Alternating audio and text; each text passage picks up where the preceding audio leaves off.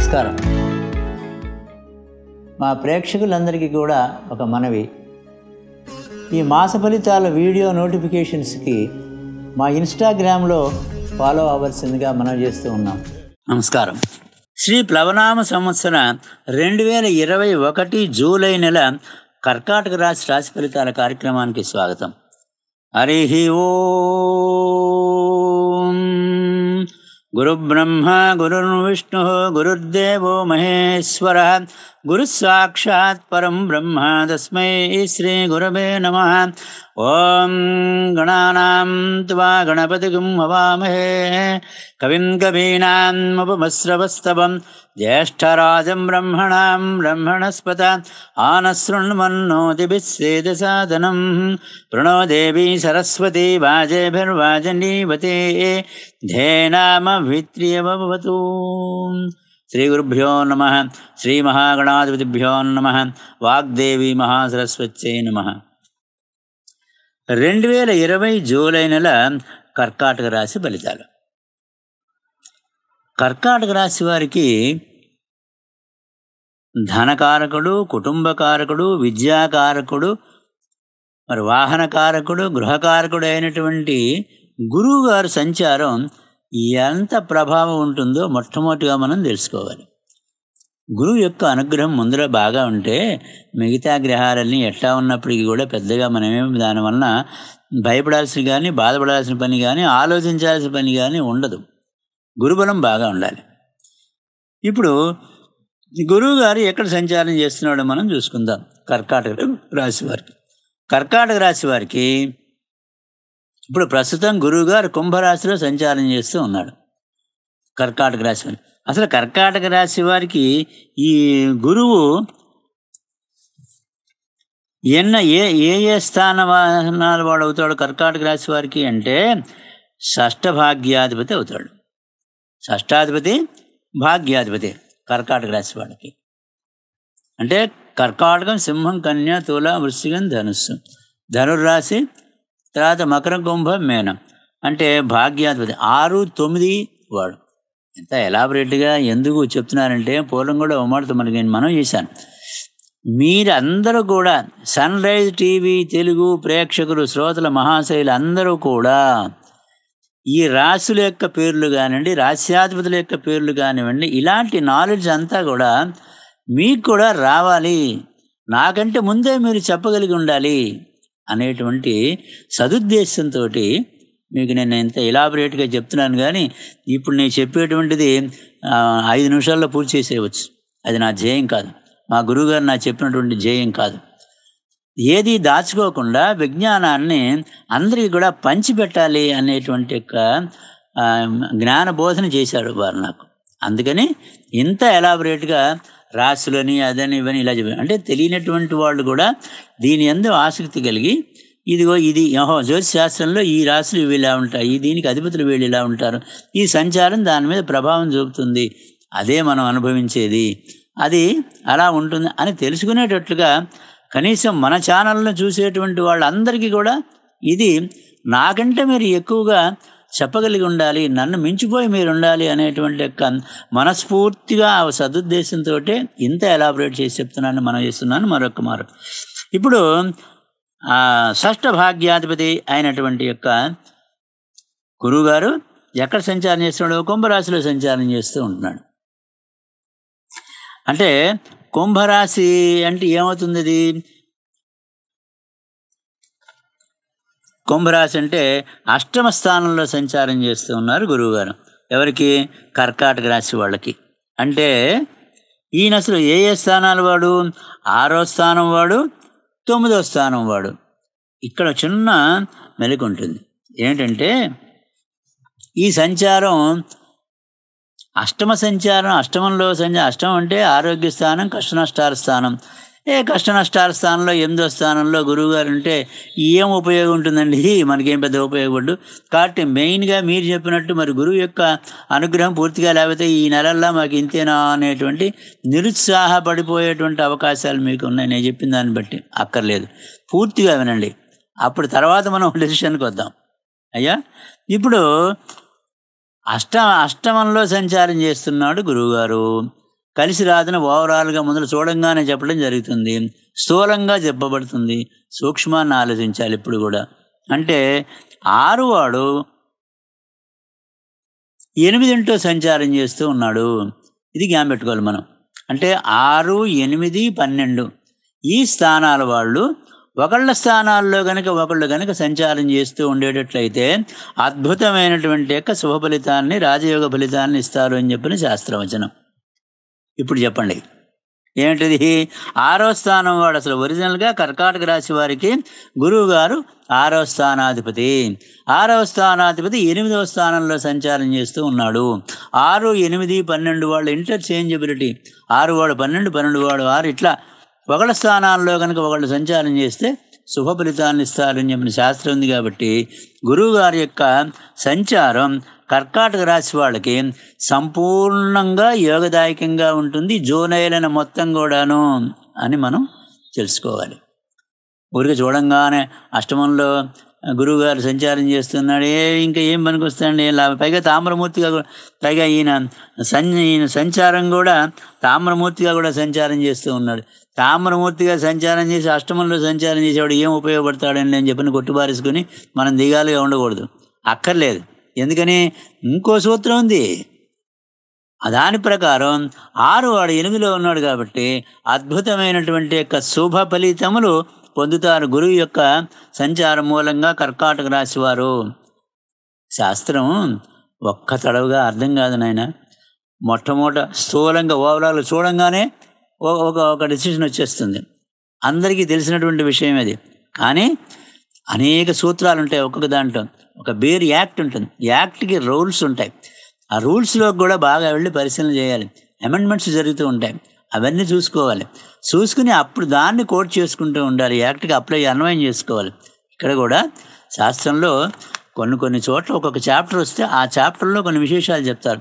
ఆ చాప్టర్లో చెప్పిన విశేషాలు మనకేదన్నా ఇక్కడ తెచ్చుకుంటే మనకి సరిపోతుందా అనేటువంటి యొక్క స్ఫురణ అది గురువు యొక్క అనుగ్రహంతో ఆ భగవద్ అనుగ్రహంతో రావాలి. కనుక ఇప్పుడు మనకి ఈ కర్కాటక రాశి వారికి అద్భుతమైనటువంటి ఫలితాలు గురువుగారు ఇస్తున్నారు. అష్టమంలో సంచారం చేసిన తర్వాత తామ్రమూర్తిగా సంచారం చేసిన ఆరువాడు ఎనిమిదిలో సంచారం చేస్తూ ఉన్నాడు కాబట్టి శుభ ఫలితాన్ని ఇస్తాడని ఘంటాపదంగా చెప్పవచ్చు కర్కాటక రాశి వారికి గురువు యొక్క సంచారము. దాన్ని మనకి కటాక్షం చేస్తాడు. మంచి మాట తీరుని ఇస్తాడు.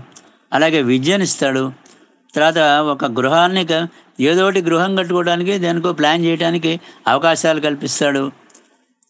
అలాగే వాహన వాహనకారకుడు కూడా వాహనాలు కూడా మనకి ఏదన్నా కొత్తది కొనుక్కోవటం పాత దమ్మేసేయడం దాన్ని బట్టి కొత్తది కొనుక్కోవటం ఇన్స్టాల్మెంట్స్ కొనుక్కోవడం ఏదో రకమైనటువంటి అలాంటిది కూడా ఏర్పాటు జరుగుతుంది. కనుక ఇన్ని విధాలుగా మన ఈ సంచారం ఉపయోగపడుతుంది.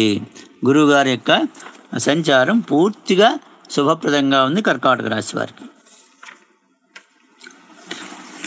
విపరీత రాజయోగంలో ఉన్నాడు పైగా గురువుగారు.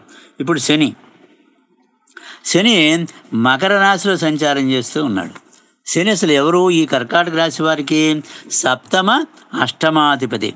సప్తమ అష్టమాధిపతి అయినటువంటి యొక్క శని సప్తమంలోనే సంచారం చేస్తూ ఉన్నాడు.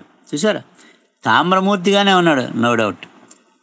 అంటే సప్తమంలో సంచారం చేస్తూ తామ్రమూర్తిగా ఉండేటువంటి యొక్క శని మరి ఏమి బాగుంటుందండి?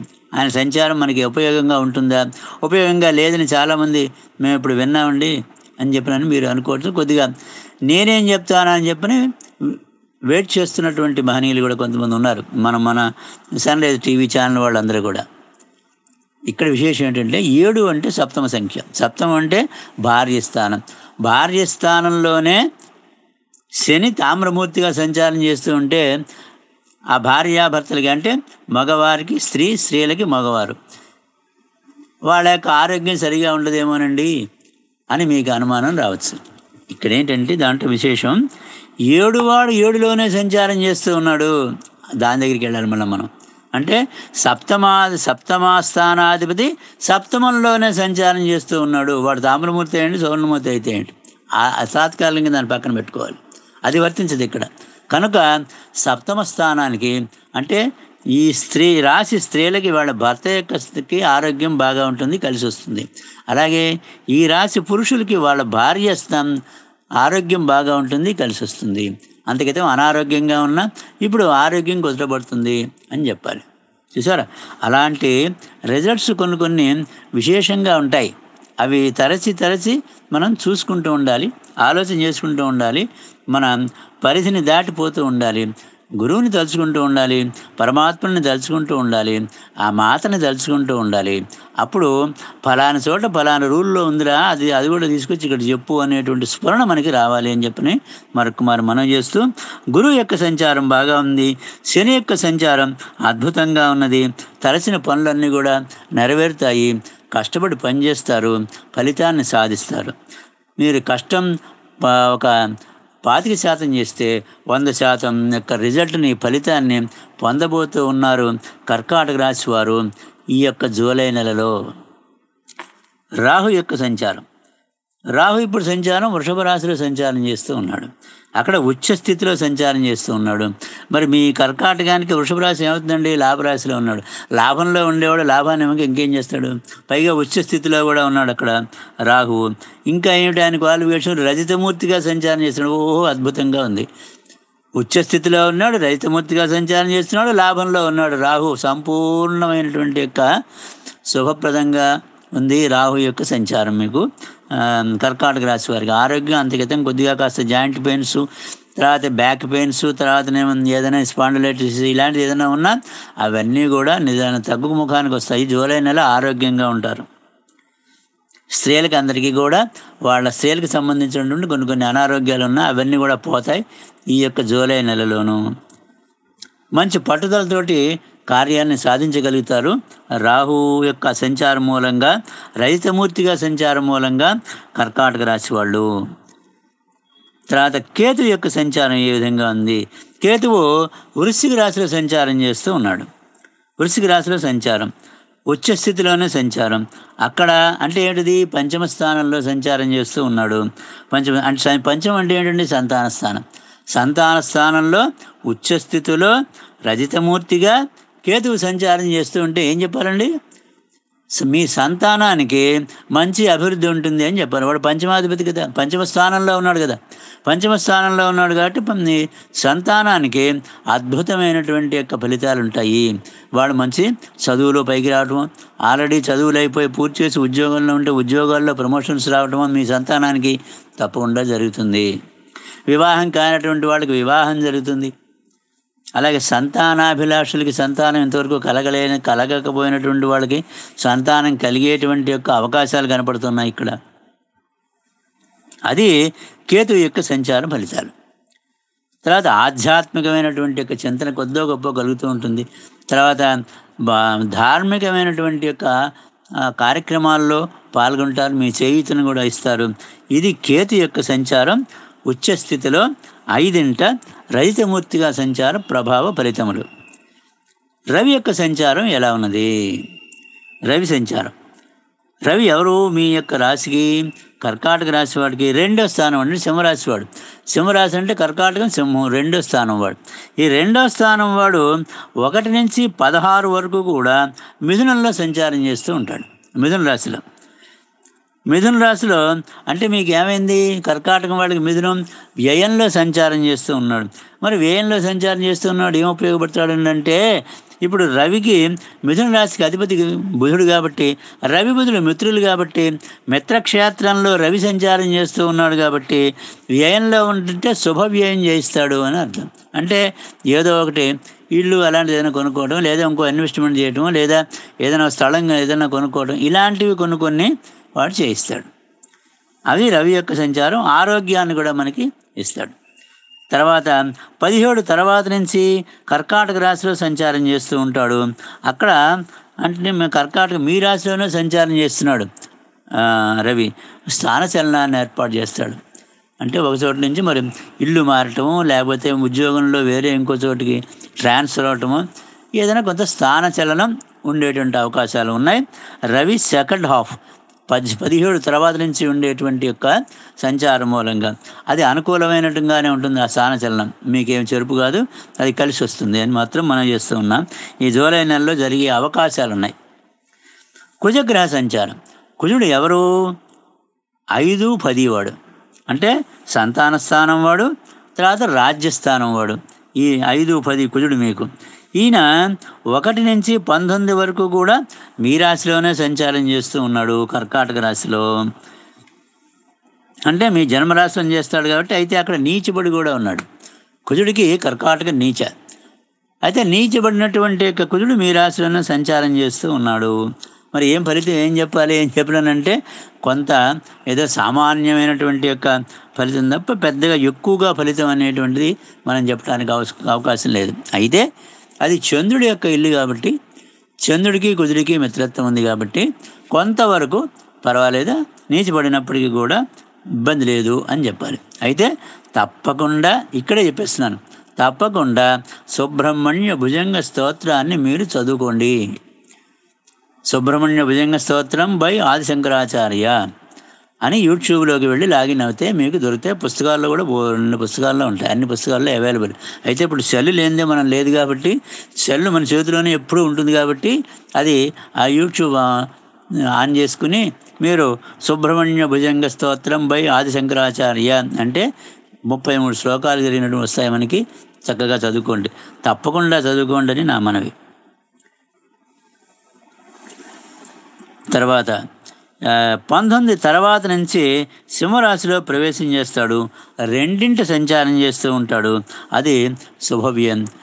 మీ రెండంటే ధనస్థానం కదండి. ధనస్థానం విద్యాస్థానం. అప్పుడు ప్రవేశం చేసినప్పుడు విద్యార్థులందరికీ కూడా మంచి టెక్నికల్ కోర్సుల్లో ప్రవేశం జరుగుతుంది. విద్యా వాళ్ళకి ఆ ప్రవేశం కలుగుతుంది. అంటే దా ఆ వృత్తి విద్య ఇంజనీరింగ్లోను వాటిల్లోనూ అలాంటి టెక్నికల్ వాటిల్లో మీకు ప్రవేశం లభిస్తుంది. విద్య నేర్చుకోవడానికి తర్వాత దానికి శుభవ్యయం కూడా జరుగుతుంది. ఇంకా శుక్రుడి యొక్క సంచారం ఏ విధంగా ఉంది అని ఆలోచిద్దాం. శుక్ర సంచారం శుక్రుడు ఎవరు? ఈ యొక్క కర్కాటక రాశి వాళ్ళకి చతుర్థ చతుర్థ లాభాధిపతి. చతుర్థ లాభాధిపతి అయినటువంటి వాడు ఒకటి నుంచి పదిహేడు వరకు కూడా కర్కాటక రాశిలో మీ రాశిలోనే జన్మరాశిలోనే సంచారం చేస్తూ ఉంటాడు. ఇప్పుడు శాస్త్రం ఏం చెప్పింది?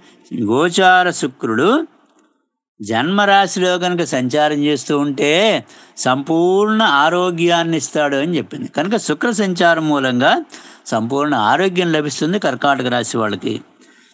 మరి పద్దెనిమిది తర్వాత నుంచి అండి అంటే పద్దెనిమిది తర్వాత నుంచి సింహరాశిలో సంచారం చేస్తాడు రెండింటి సంచారం చేస్తాడు రెండింటి సం గోచార శుక్రుడు రెండింటి సంచారం చేస్తే భాగ్యాన్ని ఇస్తాడు అని చెప్పిన శాస్త్రం చెప్పింది కనుక మొత్తం మీద శుక్రుడి యొక్క సంచారం కర్కాటక రాశి వారికి లాభాధిపతి కూడా అయినాడు వాడు కాబట్టి వృత్తి స్థానాధిపతి కూడా హయ్యెస్ట్ చదువు స్థానాలు కూడా వాడే కాబట్టి అవన్నీ కూడా ఇస్తూ ఆరోగ్యాన్ని భాగ్యాన్ని ఈ నెల మొత్తం జూలై నెల మొత్తం మీకు ఇస్తాడు. సంపూర్ణమైనటువంటి యొక్క శుభ ఫలితాన్ని ఇవ్వబోతూ ఉన్నాడు. జూలై నెల మొత్తం శుక్రగ్రహం మీకు. కర్కాటక రాశి వాళ్ళకి కర్కాటక రాశి స్త్రీలకి అద్భుతమైనటువంటి యొక్క యోగదాయకమైనటువంటి యొక్క శుభప్రదమైనటువంటి యొక్క కాలం. మీరు పట్టిందల్లా బంగారంగా ఉంటుంది. శుక్రుడు అంతా మీకు యోగదాయకంగా ఉన్నాడు.